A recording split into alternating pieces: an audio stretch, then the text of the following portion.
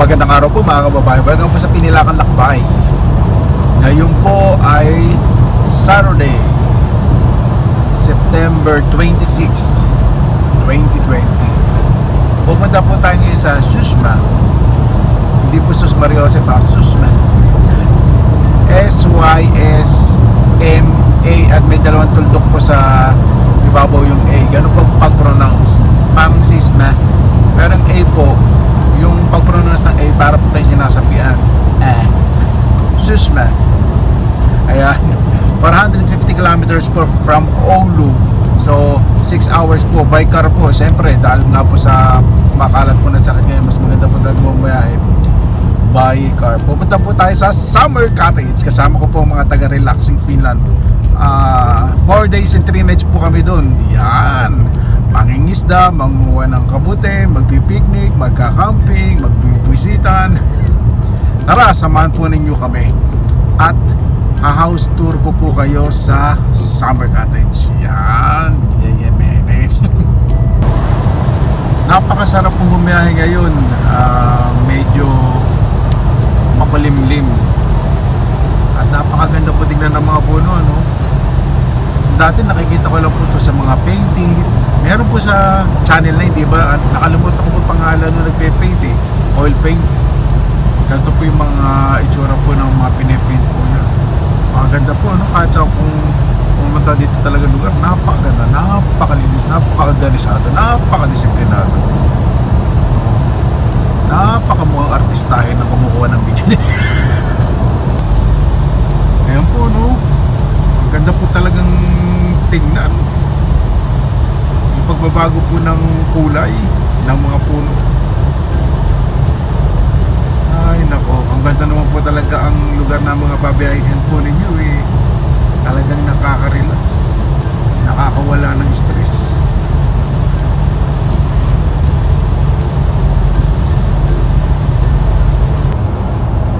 Grabe po itong mga nasa harap po sasakyan ng mga kotse. Nag-overtake ka na sunod-sunod. Apat na kotse, sabay-sabay nag-overtake. Eh paano pag may sumalubong? Kaya pa, panlima. Na nagmamadali.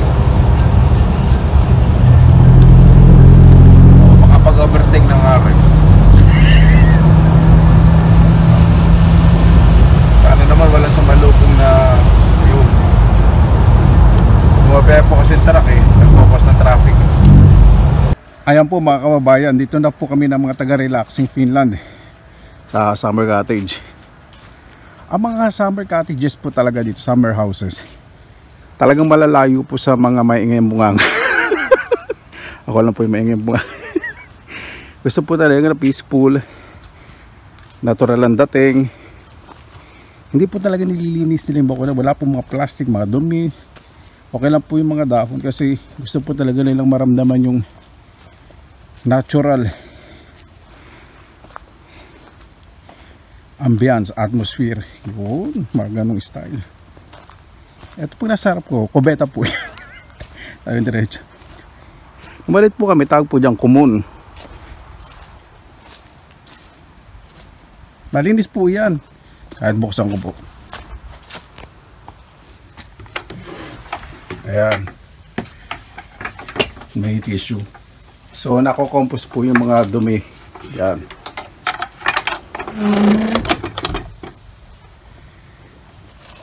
Dito na po tayo. May nakita rin po ko dito mga kakaibang mga mushrooms. Ayun po. Hindi ko po alam eh. Madami. Siyempre isa sa mga target po natin mga mga mushroom. Ayun, dami. Pero hindi ko po, hindi ko po alam mga yan. Ito po yung summer cottage. Ang ganda po. Ito na po yung mga gamit namin. Min, nilagay na po namin. Ha, di ba po ang gandang tingnan? Nakakatawa po. Dali lang po ha. Kaya po tayo. Para po siyang kahoy na bahay sa Pilipinas. May silong. Tapos meron din po diyang daiban. Pwede mag-fishing, mag-swimming after sauna. Ito po, napakaganda, napaka-traditional. Para po tayong nasa Baguio. Ayan, sa labas nilagay na po namin yung mga pangluto.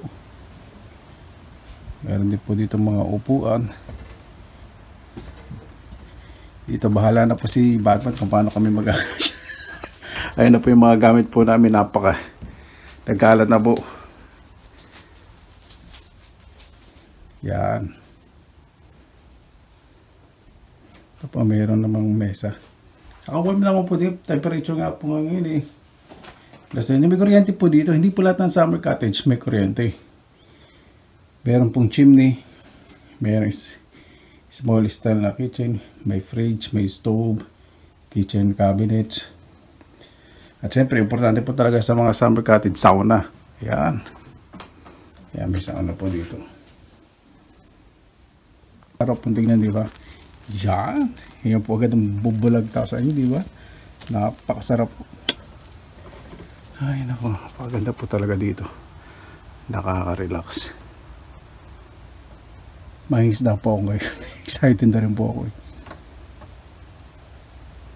Ganda po ng lugar. Grabe. Putin po muna natin itong summer cottage. Meron din po pala ditong grilling place. Ayan. Yan, may grilling place po pala. Kaya lang wala pala ditong kahoy. Hindi kami nakapagdala ng uling. Maghahanap na lang po ako ng mga kahoy-kahoy. Ito po yung likod ng sauna. Ito po ang mga mushrooms eh. Kaya lang hindi po alam po mga ito eh. Ganda po dito. Nakaka-relax sobra.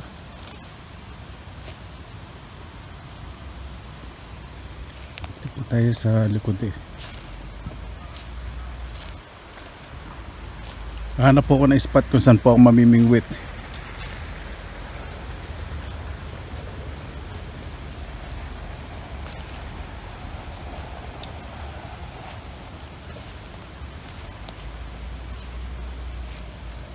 Ayan.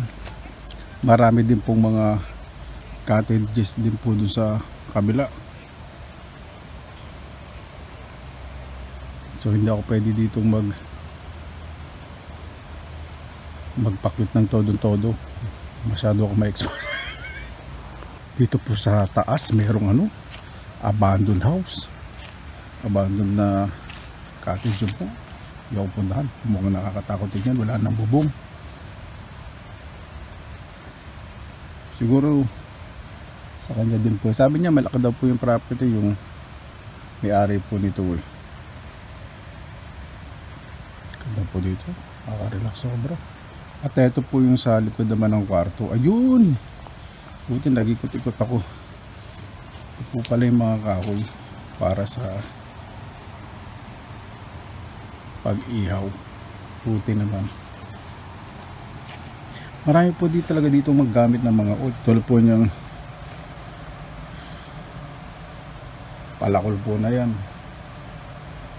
Hindi po pwedeng pitikin dahil pa-inventaryo po yan. Syempre kasi yun yung unang pumunta eh. Gugulat nyo lang kayo may bill kasi nawala isang gamit. Ang inaharbat ang mga pinipiti ko naman po yung mga libre. Hindi po yung mga sa mga second hand po kasi mura lang naman eh. Hindi sipat-sipat ko po kasi dito kung saan yung lugar ng maso pero nagtip na po yung may-ari kung saan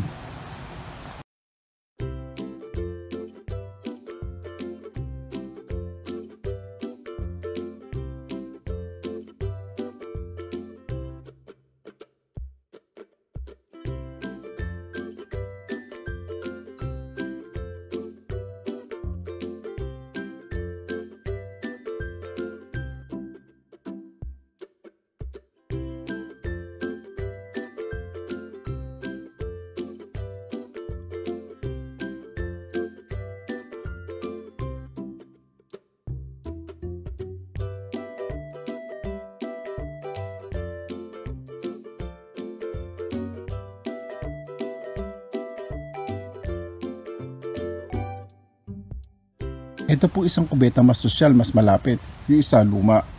Pinakita po, ito mas sosyal. May automatic uh, composting po, composting. Madidecompose po yung mga dumi. At meron pong mga pag dumi po ninyo, syempre may tissue rin dito. Ayun, may mga tissue. Tapos, tatabunan nyo po nito. Ayan po yung nakakatulong. Para hindi po umamoy ang dumi. Yan. Paano po? Mamimingwit na po ako. May dala po akong bulate syempre. Dala ko po yung pamimingwit ko reserve. Sa may kasi mag-gloves po ako kasi syempre ako yung tagaluto. Tagaluto ng mga kabron. Para pag gumawa ko ng bulate at least hindi po mahirap pugasan yung kamay ko. Yan. Tapos tingnan dito, di ba? Kapag galing sa akin na pwede kayo dumaib dito. Kaya po maitim po. Hindi po maitim yung tubig kasi may lumot saka kulay brown po yung buhangin. May upuan pa di ba dito?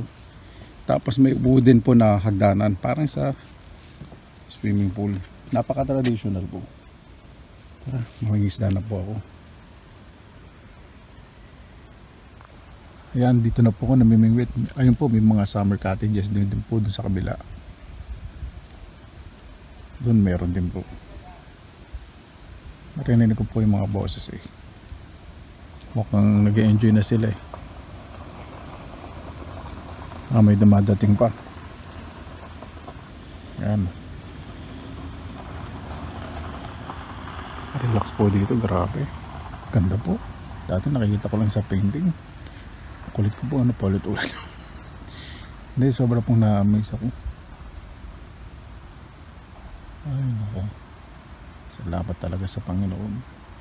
Naranasan ko po yung mga ganito. Dati sa panaginip lang, pangarap.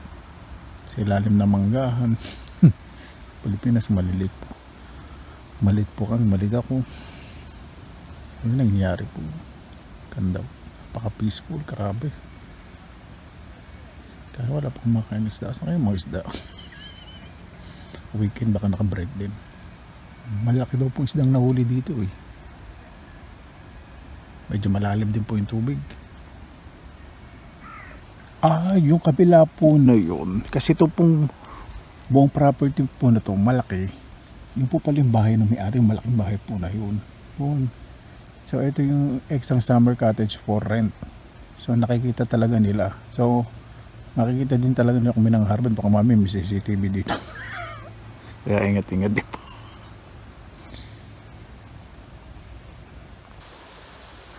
Iba po talaga, disiplina po talaga nila dito. Talagang saludong saludo po, saludong saludo po ako. Dahil wala pong mga nakakalat na mga plastic. Ngayon naman itong ibon na to, titiradurin ko to. Ayan po, ang linis po, di ba? Puro dahon lang po. At yung reflection, ang tahimik po ng tubig ngayon. Ang ganda po tignan, ano? Picture perfect. May asungot lang sa gilid. Hindi po muna ako mangingisda. Ah, sabi po kasi ng mga taga-relaxing Finland, gusto daw po nilang ah, maglakad-lakad para magawa po ng drone. Baka sabi, isipin naman nila kasi puro paglamon na pag kaya nang iniisip ko. Tara, samahan ko po muna sila. Makuha po muna ang kabuti. Alam niyo na. Paborito. Yan. Orange birch bullet. Maganda po. Magdadry po ako mamayang gabi. Dala rin po yung dryer ko ngayon eh. Hanap po ako bukas ng funnel chanterelle sa chanterelle kung saan po makako. Mikot-ikot lang po muna dito ako sa summer cottage. Marami pa po rito ano orange birch bullet. Ayun, laki. At ayun po, mayroon doon. Pero ito all na po. Pero nandun parang hindi pa. Na po, ito. Ito kaya. Oh, all na, sayang. Poisonous toadstool. Maganda pong tingnan. Nako, delikado po yan pag nakuha. Lalo na po yung mga bata. Meron na po kasi mga batang nadadali po niya. Hindi naman po nakakamatay bigla-bigla. Food poisoning po. Pero kapag mahina na po talaga immunity system, syempre nakakamatay din po yan. Kaya ingat-ingat din po ako dito eh. Medyo naku-curious po ako eh. Pag ano mga term, curious ano. Pero ibig sabihin, intriga. Chismosa. Then dito po sa abandoned na place. Ito po sa taas ng hill. Naman po ito bundok. Mga hills lang po siya. Ayan. Parang nasunog. Ay, oh, nasunog po. Summer cottage din po ito. Ah, nasunog. Nakatakot po, no? Para tayo nasa Walking Dead. Parang hindi na po inasikas. Talagang pinabayaan na. Sayang. Ganda pa daw po itong lugar nasa ibabaw po ng hill. Tapos sa baba po yung river. River. Sabi ko po hindi po manguha ng mushrooms pero nakita po naman Chanterelle successful po ang pag-travel po natin dito. Yan. Wow. Kinikilig po. Maganda po itong lugar. wow. Muna lang po lilinisin sa amin kasi medyo madilim na rin po eh. Maganda po itong forest. Mabalikan po ito bukas. Dito po ako talaga mag-isa. Napakasaya ko. Hindi po nasayang yung trip. Ito nga palang maraming mushroom dito. Isa rin po yung dahilan kaya sumama po. Dahil po sa panguha ng kabote. Iba rin po kasi mataga-relax yung feeling eh. Mahilig din po sila sa mushroom.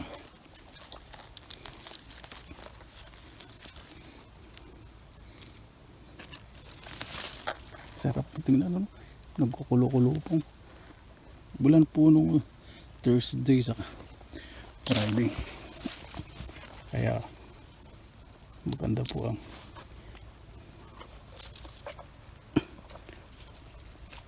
pagtubo ng mushroom.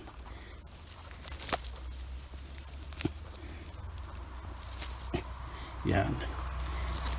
Yan. Ikot-ikot pa po ako. Tara na po tayo. Naku, napakasaya. Dali lang po ah.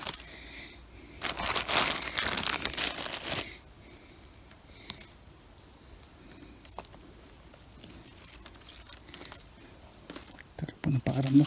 Napakaganda naman sa forest na to. Ang linis-linis. Mukhang makakarami ako dito. Kahit 100 kilos, okay na po.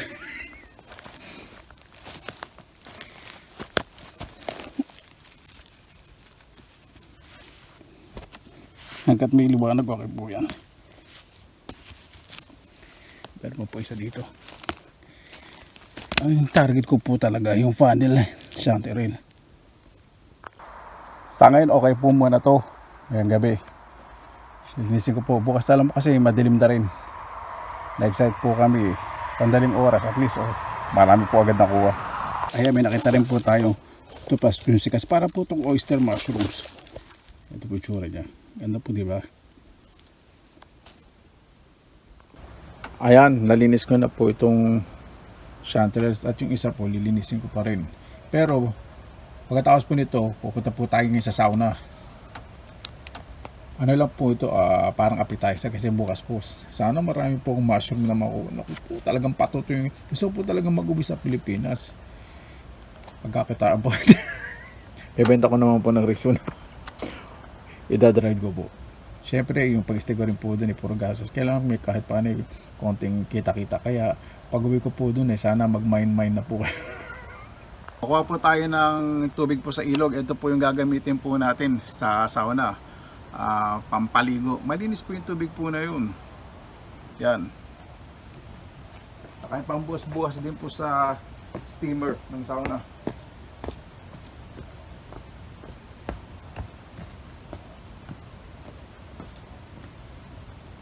Marami pong mga tuyong dahon eh. Parang sumasalok po kayo sa ilog.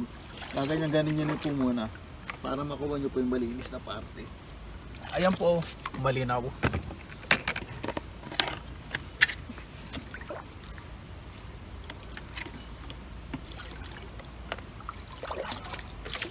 Ayan. Hirap na hirap na ako. Dali. Sila ko pa yata itong timbang. Hindi naman siguro. Ay, hindi naman. Ano ba naman itong timbang na ito? Tetepo. Eh. Abnormal na yung may hawak eh. Abnormal.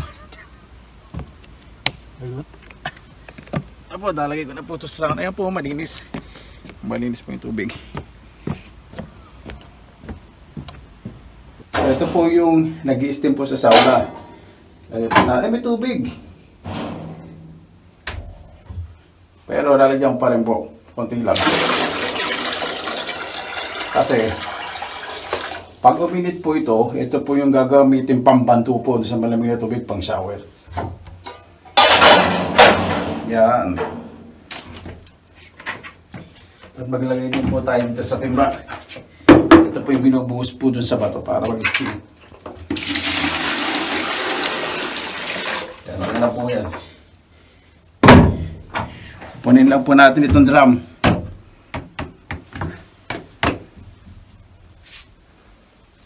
Ayan, ito po. Dito po nilalagay po yung ah mga kahoy. Pero bago po yan, maglalagay po muna tayo ng maliit na kahoy sa ilalim. Hilera po muna natin. At meron din po ako dito mga tissue. Okay lang po yan. Tapos meron din po dito mga balat ng birch trees. Ang padingas din po yan.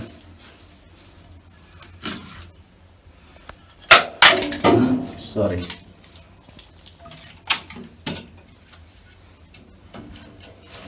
Sige pa po, isa pa. Yan. Abay, ang tanga-tanga ko naman. At ito pong balat ng birch tree, nakikita po ninyo, mabilis pong mag-apoy. At may fuel po yan eh, may panggapong. Sarado na po natin. At iinit na po yung tubig, iinit na rin po yung bato. Init po yung tubig dito, tapos init pa yung bato. So yung timbang nasa tubig, pag hinagis po dyan, mag-steam. At itong tubig po na to, ibabanto pag naliligo po. Yan. Ayan, may tabo po. Pag magsasauna po, ibubuhos po dito sa machine na may bato. Pag minute may mag-steam po dito. Ganda po sa balat kasi namama- namamatay po yung dead skin. Talagang sa ako po pinagawa talaga na, na taga-relaxing feel na ano. Talagang inaalila nila ako. Nakakatipid sila sa paggilos. Ang pangalan po pala ng mushroom na to ay Clitocycle nebularis. Ano, ang preparation po ay pakukulaan muna. Nako, parang hindi ko na po kukahanin. Ibabalik ko na lang po. Kasi matagal po yung preparation ito bago po lutuin. Kasi gusto ko po yung direct muna dadare-dare pong niluluto. Ito po kasi baka magkamali ako ng luto eh. Baka mamaya hindi lang manigas, mamanhin lang pang ako. Baka pati utak at dila ko eh umuro. Pero nakakain po to. Basta pakuluan lang po. Tapos tatapon daw po yung tubig pa ko. Ah, pakuluan uli para para namang buto-buto to. Tagal pa. Hindi, pag kumulo daw po sasalain. So habang pinainit po natin yung sana, piniliwanag po po muna itong mushroom. Kasi kanina nagmamarunong-marunong po, hindi po pala yung pangalan na sinabi ko po kanina nang pa tayo. Yun. Yan, ganda po, di ba? Ah, ibabalik ko na lang po doon sa ilalim po ng mga tuyong sanga para tumubo po uli sa next year. Kasi yung mycelium po, kakalat po. Mabilis pong kumalat, lalo na po ngayon, hindi pa po masyadong malamig, medyo moist. Kaya, kakalat po yan. Ayan po mga kababayan, kagagaling ko lang po sa sauna at masarap pong matulog dito at medyo malamig. Maraming maraming salamat na po sa inyong oras na inilang sa pinilang kalakbay. Bukas po mamamasyal po tayo. Tingnan po natin kung ano po yung mga ibang lugar na makikita po natin. Maraming salamat po. Positive vibes, good vibes. God bless. Ingat po lagi. Magandang araw. Laban lang!